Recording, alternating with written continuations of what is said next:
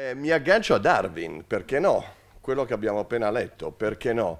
Eh, se è valido ciò che sopravvive, ciò che resiste al cambiamento, nel mondo animale evidentemente si riferiva a Darwin eh, e partecip- apparteniamo anche noi al mondo animale evidentemente, ciò che è arrivato fino a noi è valido, ma fino a noi cosa è arrivato?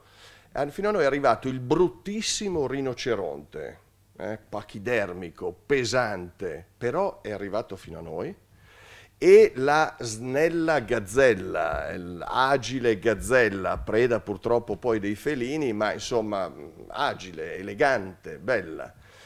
Compito nostro non è dire che una è bella e l'altro è brutto, ma Darwin, che entrambi sono stati in grado di arrivare fino a noi e che entrambi oggi sopravvivono. Perché Parto da qui, in una rapidissima sintesi. Perché abbiamo sentito una carrellata di aziende, di casi aziendali, dai 2 billion ai 20 milioni del, dell'Ambrosoli di cui ho parlato io nel mio intervento. No, una carrellata, non andate a cercare chi è il rinoceronte subito e chi è la gazzella, eh, mi raccomando, ma una carrellata, avremmo sentito eh, eh, parlare di almeno una quindicina di casi più o meno approfonditi e dentro c'è di tutto per cui è impossibile per me dire sintesi. Questo sembrerebbe negativo per il convegno. No, è positivo. Come è positivo in natura, Darwin, che ci sia un rinoceronte e ci sia una gazzella, ripeto che sono in grado non solo di essere arrivati fino a noi, ma di sopravvivere oggi. Ci potrà piacere più uno o più l'altro, ma essendo tutte e due in grado di sopravvivere, il loro compito lo fanno. E allora aziende molto diverse fra di loro per grandezza, internazionalizzazione, eh, segmento produttivo, quelle che abbiamo sentito, noi non dobbiamo andare via con l'idea quella è buona, questa è cattiva, ma con l'idea abbiamo sentito 15 casi Ciascuno di noi vive in un caso, gazzella, rinoceronte e vatte la pesca, dai 15 che ho sentito porto via alcune cose, cioè non stiamo facendo la stessa gara. Queste sono state delle Olimpiadi, dove c'è il maratoneta, dove c'è il centometrista, dove c'è il gioco del singolo e il gioco di squadra. E in queste Olimpiadi mat- di questa mattina, in cui abbiamo sentito parlare di tanti sport, di tante aziende, di tante razze animali, lo, la, il successo non è determinato dall'andare a casa con l'idea tutti dobbiamo fare come un caso, ma tutti abbiamo, ci siamo confrontati con tanti casi e ciascuno avrà imparato qualcosa. È sinonimo superficialmente di confusione, ma in realtà il futuro dell'impresa economica in Italia in particolare è questo. Faccio due esempi. Io ho detto nel mio intervento che non bisogna standardizzare, ma mi è chiaro che Casalasco debba standardizzare, come è stato scritto nel... no, perché ha a che fare col pomodoro, perché ci ha spiegato, eccetera. Io ho detto nel mio intervento che non bisogna, eh, no, eh, restando in Italia in particolare, che sarebbe meglio specializzarsi più che diversificare. Ma mi è chiaro che avendo de- degli azionisti messicani no, che storicamente si occupano di tutto, e Alfieri questo do- dovrà resisterci, no? perché per loro, ma messicani, io parlavo gli italiani, per loro diversificare è il massimo.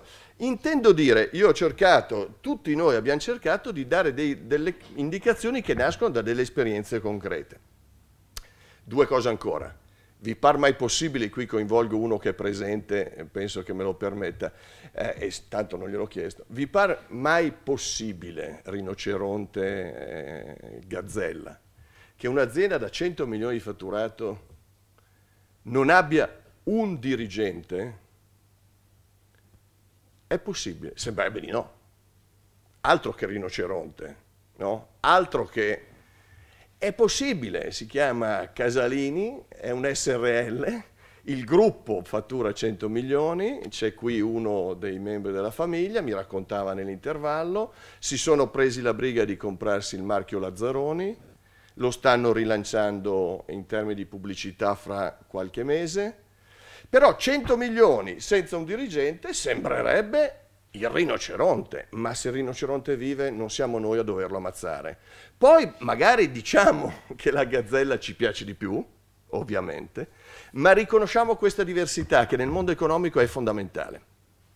Cani e gatti, resto ancora lì e vado rapidamente a chiudere, voi non potete pensare no, che il vostro cane eh, gli insegnate, se siete bravi, gli insegnate a salire sulla pianta, perché se ce l'avete in mente toglietevelo il più rapidamente possibile. È un cane, non sulla pianta, non ci andrà mai. Il vostro gatto, farlo correre un quarto d'ora al massimo della sua velocità, neanche dopo un allenamento col miglior trainer riuscirete mai a farlo. È un gatto felino, ha uno scatto limitato, di... Allora, da una mattina come questa, uno deve capire, ma io sono cane, sono gatto, mi sono confrontato con rinoceronti, gazzelle, zebre, io che sono gatto e quindi strategia, io che voglio fare questa cosa, cosa? E che sono gatto, poi devo ovviamente mettermi in grado da gatto di fare cose che sia in grado di realizzare, ma non mettetevi in testa di diventare cane e viceversa, perché non ce la farete mai. Quindi il segreto è coerenza tra strategia e organizzazione, anche con l'aiuto indubbiamente di chi dall'esterno dell'azienda, eh, in questo caso Sinfo One che ci ospita, può darvi una mano, ma il segreto è coerenza tra strategia e organizzazione. E questo eh, credo che sia fondamentale e ciascuno nelle proprie aziende o nel proprio lavoro manageriale deve scoprire, perché se voi vi mettete in mente che da cani potete diventare gatti, auguri e un buono psicanalista.